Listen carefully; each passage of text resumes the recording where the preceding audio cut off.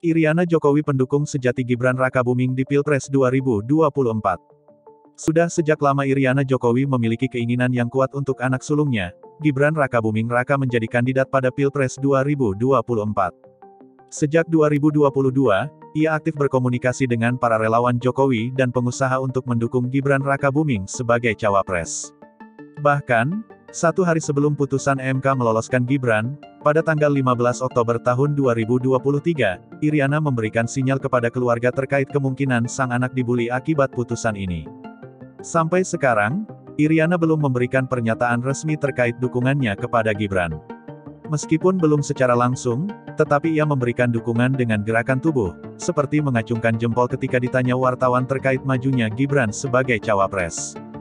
Gibran merespons informasi bahwa ibunya, Iriana Jokowi, merupakan sosok yang menginisiasi wali kota Solo itu maju di Pilpres 2024. Iriana Jokowi sebelumnya disebut menginisiasi pencalonan Gibran sebagai wapres hingga akhirnya mendampingi Prabowo Subianto.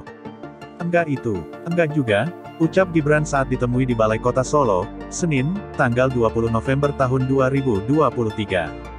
Ia menjawab pertanyaan seputar informasi tentang Iriana Jokowi yang menginisiasi pencalonan dirinya sebagai Wapres di ajang Pilpres 2024. Yang tentang ibu, Iriana Jokowi, itu saya kira hanya gosip saja ya. Enggak perlu dibesar-besarkan, kata dia.